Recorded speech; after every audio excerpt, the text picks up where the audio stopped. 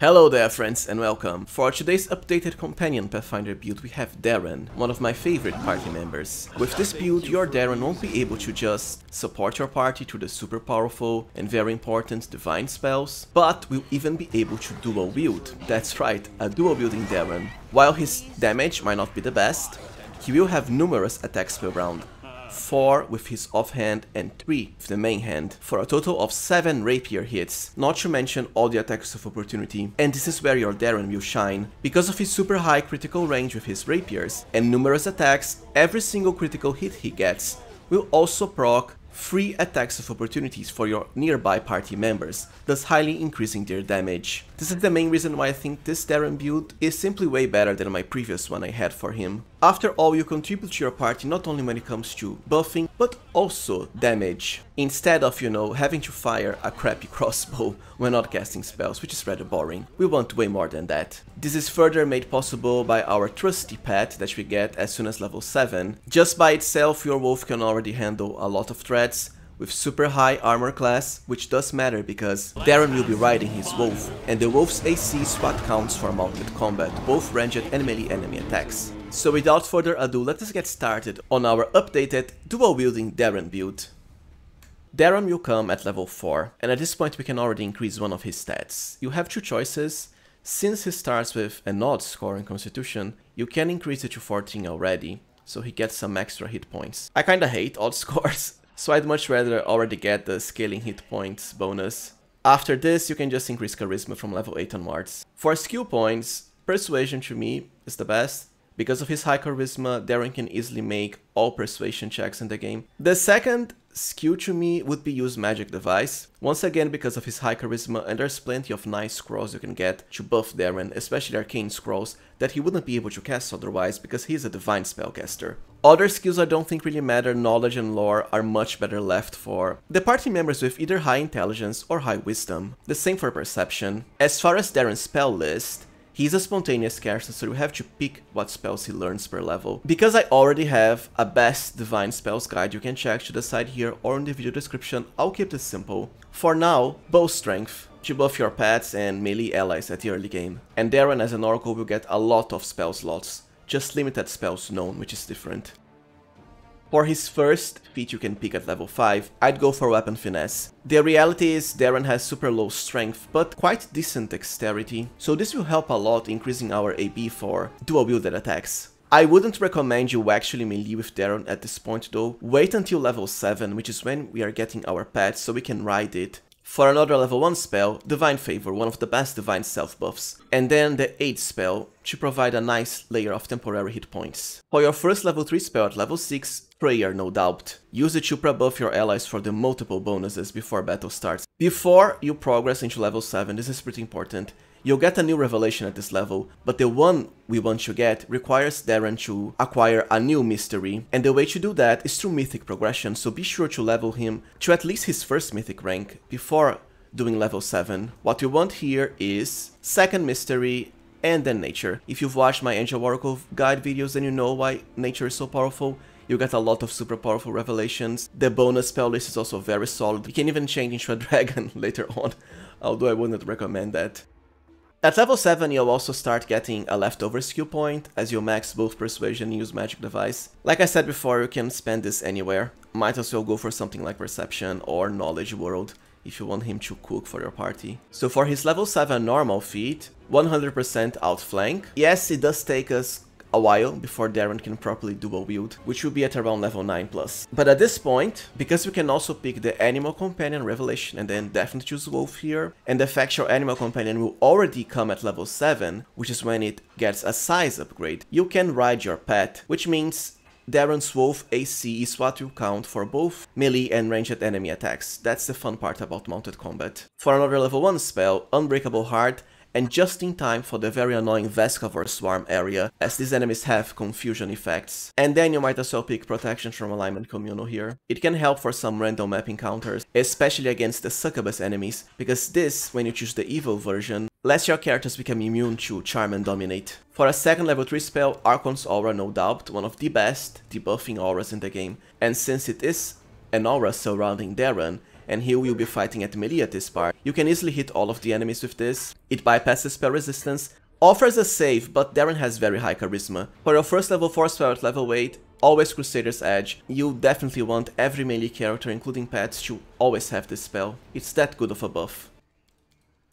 For our level 9 feat, at last, our first two weapon fighting. So now Daeran has 3 attacks with the main hand when you consider haste, and another with the offhand, and very soon they will achieve very high critical range. For another level 2 spell, you can kinda pick anything here. Since we are close to level 11, which is when Camellia gets the mass animal buffs, I won't bother with others like Bear's Endurance here. You might as well pick something like Find Traps for Daeran's Perception or Effortless Armor to reduce the armor check penalty since he does have low strength. And then two choices, either Animate Dead, it does fit Daeran who is, you know, evil aligned, or Remove Curse, which helps spontaneous casters a lot. I think at this point Animate Dead will have more uses because at the very least you can spam some disposable meat shields for your party. And then the Death Ward spell, another amazing pick for spontaneous casters because you can cast this when needed, that is, when you're fighting undead. You don't have to bother preparing the spell slots for it before. For your first level 5 spell, always Burst of Glory, and you should always spray buff your whole party with it plus Prayer as short duration buffs before battle starts. For your level 11 feat, always improved critical and then rapier. So now we already have our outflank feat at full power and whenever we get a critical hit, it will proc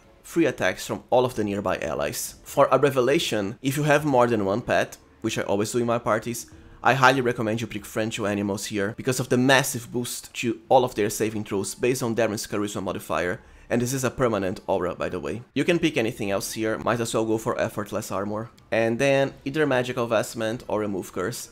And then at this point, I'd go for Freedom of Movement. I don't pick it before because I often have Sosiel cast it for me instead. Daeran is kinda low in level 4 spell slots because of both Death Ward and most importantly Crusader's Edge. For another level 5 spell, you can pick Greater Command here. If you've watched my Ember and the Fey Lord build guides, you'll know this is one of the ultimate crowd control effects in the whole game. But Daeran won't get the spell penetration feats nor DC boost to enchantment. I'd rather leave this for Ember or the main character, so what I like to pick now is spell resistance. For your first level 6 spell, Daeran already learns heal for free because of his life mystery. The same for Hellfire Ray thanks to the red salamander ring. And as far as the mass animal buffs, I just have Camellia cast them for me instead. Daeran won't really have enough spells known to cast them all on your party. The same for True Seeing Communal. So what I would pick is Greater Dispel Magic. It's always nice to be able to dispel multiple buffs from enemy bosses. Remember you can always use this as a swift action through a quicken meta magic rod, as you retain your full attacks in the same round. For our level 13 feat, improve at weapon fighting at last, so now we have two attacks with our offhand rapiers. And if you're wondering how Daeran is able to get this, even if it requires higher dexterity than his starter 16? Well, it's all thanks to belts that increase dexterity. And at this point you definitely have, at the very least, a plus 2 belt of dexterity, which also helps Daeran because it increases his attack bonus thanks to weapon finesse. And then Divine Power here, a big upgrade over the Divine Favor self buff. You might as well pick Raise Dead here, if only to put those diamonds to good use. And then for a level 6 spell, I'd say you have two choices. You can go with Inspiring Recovery, which is basically an upgrade over Breath of Life for more healing. This spell combined with Breath of Life can really reduce the situations where you would have to spend a Raise Dead spell or scroll, which are expensive because of the diamond cost. Just remember you have to cast them up to 2 rounds after the character has been killed. For your first level 7 spell, honestly, the Divine level 7 spells are kinda garbage overall. You already get Greater Restoration for free, you might as well pick Resurrection now. Everything else is really underwhelming. I suppose you might make a case for Bestow Grace of the Champion if you have a lawful good character that isn't a paladin. For level 15, our last weapon fighting feat, for the maximum 3 offhand attacks. And then as a mystery, two choices, Spirit Boost can add up to your Oracle level as temporary hit points for your party member whenever you heal them and go over their maximum hit points amount. A good example is, let's just say our characters have maximum hit points already, you then have Daeran use his channel energy, which grants, well at this point, 15 temporary hit points to everyone. Always useful because the more temporary HP you have, the higher your chances of staying alive if you get hit by the enemy. It works as another very powerful layer of defense, armor class isn't really everything there is to it. He can also go for Nature's Whisper, which lets his armor class scale based on his charisma instead of dexterity. The thing is, it's Daeran's pet armor class that matters for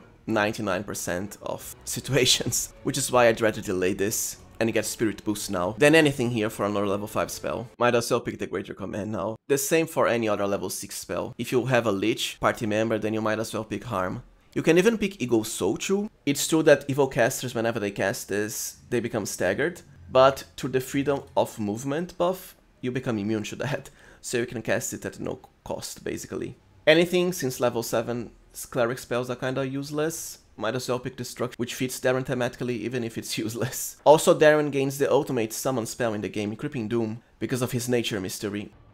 For your first level 8 spells at 16, I'd go for Frightful Aspect because of the very powerful size boost to Constitution, also to proc Shatter defenses from allies. For level 17, I'd go for Heighten spell. Not only for spellbook flexibility, also to heighten the Archon's Aura spell to increase the chances of it debuffing enemies. And then for another level 8 spell, you might as well pick Shield of Law, to grant your party immunity to mind affecting demon spells. But at this point, depending on your mythic path, if you are let's say an angel or a lich, your characters already have immunity to those based on your mythic path abilities and spells. For your first level 9 spell, I'm not sure if this is a bug for this character, but I think you don't get to pick Mass Heal anymore because Daeran already learns it at level 8. If you are still able to pick Mass Heal, then go for it. Having double Mass Heals is always fun, otherwise, Winds of Vengeance can make a nice self-buff. The other spells kinda don't matter. As for your level 19 feat, I'd say you have two choices. If you want to sneak a feat in through Lore Master, then go for Skill Focus and Knowledge World, and then pick Lore Master at level 20. I don't think it's needed though. Problem is, it will mess up your pet scaling. Otherwise, go for either combat reflexes, kinda late, but we are somewhat feat starved because of all of the dual wielding feats, or even weapon focus rapier. For your final revelation, well, at this point you might as well pick Nature's Whisper. The other ones aren't really useful. Then Greater Angelic Aspect here. The other spells don't matter, might as well go for Overwhelming Presence, because it works even if the enemy saves against it. Now for level 20, if you went with Lore Master, then pick Secret, Combat Feat, and either Shatter Defenses, so Daeran can hit the enemy's flat-footed AC, or opportunist for an extra attack per round. I just think it, the reality is Daeran has so many buffs to his attack rolls that he doesn't really need shatter defenses. To me, I'll keep it simple and just go with Oracle. Alright, now let's cover Mythic progression for our dual wielding Daeran. We already got Nature Mystery at level 1 for the pet and the Nature Revelations. For Mythic rank 2, as usual for any full caster, extra Mythic ability and Abundant casting. We want as many spell slots as possible even considering Daeran already has a lot of them by virtue of being an oracle. The more the better still, especially for buffing. Yes, I'm not going with Mythic Weapon Finesse, as I said before, Daeran does not need the extra damage. The entire point is to generate free attacks by every critical hit he gets to our party members, not his self-damage. For Mythic 3, improved Abundant Casting, as at this point you should already have level 4 and 5 spells. For Mythic rank 4, extra mythic ability, and enduring spells. I do enjoy having Daeran with 24 hours buffs, because of how useful the divine buffs are, especially Crusader's Edge, Death Ward, Shield of Faith, Aid, there's a lot of them. Once again, the reason for not picking Mythic Critical is the same I've said before, Daeran's damage doesn't matter. For Mythic level 5, greater enduring spells, so now he does have 24 hours for basically almost all of his buffs, besides the one round level ones. As for Mythic level 6, extra Mythic and greater Abundant casting at last. The reason is, at this point is when you finally get level 8 and 9 spells, so I don't see much of a point in picking this before. For Mythic level 7, I'd go for Ever Ready. It is kinda late, but Daeran does have a lot of attacks per round and very high critical hit chance. Plus whenever your party members proc critical hits, they'll give Daeran an attack of opportunity too. While we don't pick combat reflexes, there are other ways of achieving higher than one attack of opportunity, such as the Clemency of Shadows Crusade Relic Ring. For Mythic level 8, this is when I would at last pick Mythic, Critical and Rapier. You can also go for Mythic weapon fighting here, it's just that I think at this point Daeran has more than enough bonuses to his AB from all of the buffs you have. Then at Mythic 9, Mythical Beasts to truly empower our pet to the max. As far as Mythic rank 10, you can pick either Mythic Weapon Fighting for a plus 2 AB to all of his attacks, or Mythic Weapon Finesse to add his dexterity to damage. Like I said, it doesn't matter that much, but at this point, why not? Now let's discover gear for our dual wielding Daeran. For the amulet slot, Velexis is more for the main character, so go with amulets that increase Daeran's initiative. He doesn't really need any armor, although the reality is he can equip up to medium armor without spell failure. So you can go with Mithril chain shirts, or even Mithril breastplates too, especially the Chainmail of Camaraderie for a plus 4 bonus to damage all of his rapier attacks. But you might as well leave this to another character like the main character or Camellia. So what you can do is go for Haramaki's Divine Guidance gives a pretty big boost to his saving throws, while Deadly Rays can highly increase his Hellfire Ray AB. If you don't care about Daeran's armor class, which you know doesn't matter because of the pet, you can also go for the Web Strider for a plus 2 morale to dexterity, which means higher attack bonus. And there's always its upgrade Snake Skin 2 from the Treasure of the Midnight Isles DLC for a plus 4 profane to dexterity instead. For the robes, Early you can use the robe of inevitability for a plus 2 to spell penetration, there's also the robe of determination, and ultimately the robe of the seven sins, but you might prefer to leave this to another caster like the main character if they are a DC focused character. But this overall is still the best robes in the game. For belts, at first belts that increase damage dexterity, which also help to meet the requirements for the dual wielding feats, later dexterity and constitution, and ultimately if you don't have a belt of plus 6 to all stats, just go with physical form 4 plus 6 to dexterity and constitution. For gloves, Fencer's Gift is usually the best for dual wielding characters, but if you prefer to leave them to another character, you can also go with Twisted Temptation, the gloves of Phlebotomy, and the gloves of Enduring Wizard too. For boots, Ronak Sacrifice is always the best for any dexterity character, but once again, you might prefer to leave them for the main character or someone else. There aren't really that many powerful boots otherwise, mostly the boots of free reign for a permanent freedom of movement effect, which can block Daeran's Oracle Curse from staggering him at the first round of combat. For the helm slot, well obviously headbands that increase your charisma, ultimately Zauri's Beauty for a plus 6, and also all the Teamwork Spellcaster feats for free, mostly Allied Spellcaster for a huge bonus to spell penetration, as it is applied to all allies in an aura surrounding Daeran, perfect because he will be at melee range, close to your other party members. There is always Darkness Caress too for the ultimate charisma bonus. For glasses, 100% the Goggles of Piercing Gaze, mostly for the huge bonus to persuasion, but the stacking Insight bonus to attack and damage against demons helps Daeran too. For cloaks, mostly cloaks of resistance with the highest value possible. But earlier, you can also go for the Scarlet Allure cloak. It doesn't have that much bonus to saving throws, only plus 3, but grants you a plus 5 morale to persuasion. And a decent effect if the enemy hits you with an attack of opportunity or a sneak attack. Critical hits too, although the DC isn't that high. For the ring slot, Red Salamander is always amazing for spontaneous casters, as it basically gives you the best fire spells in the game, including ones that Daeran wouldn't get like the Fiery Body, for immunity to critical hits and sneak attacks, even ability damage too. Hellfire Ray for free is always great, but some other fire spells such as Controlled Fireball for example can easily help Daeran hit pesky swarms at the mid game. Besides that, the Ring of Evasion can always help negate enemies' area of effect spells. For the Bracers slot, two choices, Bracers of Armor, if you want Daeran to have high armor class, although our Wolf's AC is the one that really matters. And if you want even more offhand damage, there's always the bracers of the heavy hand. Now at last let us cover weapons and quick slots. For weapons, we are of course going with rapiers. Daeran's background already gives him rapier proficiency, and they are one of the best one-handed weapons in the game because of their huge critical range. Also, since they are Camellia's favorite weapon, you can find some pretty good enchanted ones too. And yes, there will be enough rapiers for both Daeran and Camellia, I usually have them on the same party. The best ones, well, I already have a guide for them that you can check to the side here, where I cover the full rapier progression, also in the video description, but to put it simply, the Translucent Needle of Astonishment and the Interceptor Rapier. Earlier you have the Holy Rapier too. And remember, through the aid of the Greater Magic Weapon spell, you can increase even lowly enchanted rapiers up to plus 5, which is the maximum. Now if you find the penalty to AB too high at the early levels, you can also dual wield daggers or short swords, because they have a lower penalty. A good example is the Hasty Eradicator, because it adds a massive amount of attacks, an extra 2 to your offhand. The only downside is of course, the critical range won't be good since we aren't getting proved critical into daggers. As far as quick slots, the Devouring Lust Meta Magic Rod is amazing for any damage focused spellcaster, mostly for Daeran's fire spells granted by the Red Salamander Ring. Also do note this will convert the spell damage into Unholy, which lets us bypass enemies' immunity to fire damage, which is why I don't pick for example Ascended Element with this Daeran. We can just convert the damage of Controlled Fireball or Hellfire Ray fully into Unholy. Grandmaster's Rod of course is always amazing for even higher spell damage, a greater Quicken Meta Magic Rod. Quicken Mass Heals can really save lives on Unfair. The Old Grimoire is